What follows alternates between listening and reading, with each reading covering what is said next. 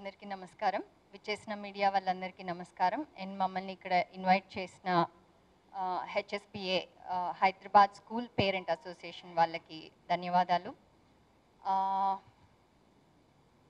మేము ఇందులోకి రావడానికి కారణం ఏంటి మా బాధ ఏంటి అని మీ అందరికీ తెలుసు. నేను ఇప్పుడు మన ప్రియతమ ముఖ్యమంత్రి గారిని అడ్రస్ చేయాలనుకుంటున్నాను. ప్రియమైన ముఖ్యమంత్రి గారు మీ మీద గౌరవంతో మీరు చెప్పిన మాటని నమ్ముతూ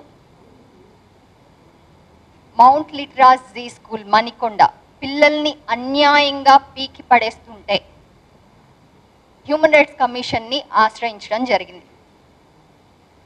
మీరు పాస్ చేసిన జియో ఫార్టీ సిక్స్ని కొంచెం కూడా పట్టించుకోకుండా పోయిన సంవత్సరం ఫుల్ ఫీజ్ ఎలాగైతే కండక్ట్ చేశారో కలెక్ట్ చేశారో ఈ సంవత్సరం కూడా ఫిల్ ఫుల్ ఫీజు కట్టాల్సిందే అని చెప్తూ ఆ ఫుల్ ఫీజుకి పేరు ట్యూషన్ ఫీజ్ అని పెట్టారు సార్. ఆ ఫుల్ ఫీజుని ట్యూషన్ ఫీ అని పెట్టి మేము ఫస్ట్ నుంచి ట్యూషన్ ఫీయే చార్జ్ చేస్తున్నాం. ఇప్పుడు కేసీఆర్ గారు చెప్పిన జియో ఫార్టీ సిక్స్ ప్రకారం కూడా ట్యూషన్ ఫీ చార్జ్ చేస్తున్నామని మొత్తం అందులో కలిపేసి చార్జ్ చేస్తున్నారు sir. GO one ninety three ప్రకారం ట్యూషన్ ఫీజు అనేది ఫిఫ్టీ పర్సెంట్ ఉండాలనేది మన అందరికీ తెలిసింది సార్. మీ ఉద్దేశం కూడా పేరెంట్స్కి హెల్ప్ చేయాలి. పేరెంట్స్ కష్టపడకూడదు అన్న ఉద్దేశంతో కేవలం ట్యూషన్ ఫీ ఎందుకు కట్టమన్నారంటే అది ఫుల్ ఫీజులో ఫిఫ్టీ పర్సెంట్ అవుతుంది. ఆ ఇప్పుడున్న పాండమిక్లో ఏవి భరించలేకపోతున్నాం. ఎవరికి పనులు లేవు. సో పేరెంట్స్కి హెల్ప్ అవుతుందని మీరు ట్యూషన్ ఫీ మాత్రం కట్టమంటే ఈ స్కూల్ వాళ్ళు అండ్ చాలా స్కూల్స్ వాళ్ళు అన్ని ఫీజుల్ని ట్యూషన్ ఫీలో కలిపేసి దాన్ని మొత్తం ఫీజు కట్టాల్సిందే అని కూర్చుంటున్నారు సార్. ఇంకొకటి ఏంటంటే నేను forty percent of the fee మొత్తం యాన్యువల్ ఫీజ్ సార్. అంటే వాళ్ళు అంటున్న ఫుల్ ఫీజుని ట్యూషన్ ఫీ అంటున్న ఫీజుని ఫార్టీ పర్సెంట్ నేను కట్టేశాను సార్. ఎవరైతే పేరెంట్స్ ఎందుకు ఫుల్ ఫీజు అడుగుతున్నారు? ట్యూషన్ ఫీయే కదా మేము కట్టాలి. కొంచెం మీ ఎక్స్పెన్సెస్ మీరు పోయిన సంవత్సరం లాగా ఈ సంవత్సరం ఫుల్ ఫీ తీసుకోవడానికి లేదు. ఏవైతే ట్యూషన్ ఫీ కిందకు వస్తాయో అవి మాత్రం మాకు చార్జ్ చేయండి అని అడిగిన పేరెంట్స్ని బెదిరించడానికి బ్లాక్మెయిల్ చేయడానికి కరెక్ట్గా ఎగ్జామ్స్ ముందు పిల్లల్ని పీకి పడేశారు సార్ ఇది ఎక్కడ న్యాయం సార్ పిల్లల్ని ఎందుకు ముడుతున్నారు సార్ పిల్లల్ని ఎందుకు హ్యూమిలియేట్ చేస్తున్నారు? ఆ పసి మనసుల్ని ఎందుకు గాయపరుస్తున్నారు?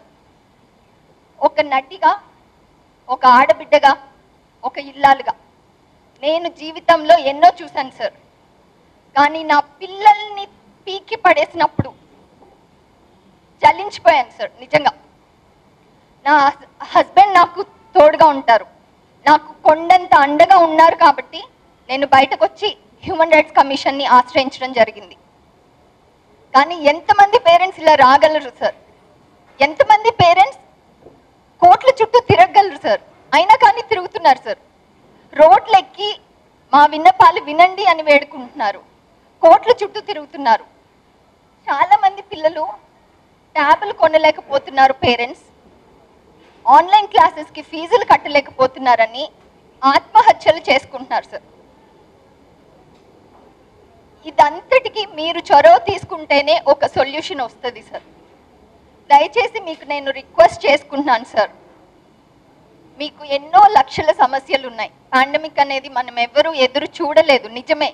కానీ ఇప్పుడు పేరెంట్స్ పడుతున్న ఈ బాధలన్నీ మీరు చొరవ తీసుకొని మీరు అడ్రస్ చేసి మీరు ఒక సొల్యూషన్ చెప్తేనే సాల్వ్ అవుతాయి సార్. ప్లీజ్ సార్ ఇన్ని లక్షల మంది పేరెంట్స్కి అండగా నిలవండి సార్. మీరు ఎన్నో కార్యక్రమాలు మంచి కార్యక్రమాలు చేస్తున్నారు సార్. అందులో ఇప్పుడు ప్రయారిటీగా ఇంతమంది పేరెంట్స్ సఫరింగ్ని అర్థం చేసుకొని దయచేసి దీనికి ఒక సొల్యూషన్ దీనికి ఒక సొల్యూషన్ అనౌన్స్ చేయాలని మిమ్మల్ని వేడుకుంటున్నాను సార్ థ్యాంక్ యూ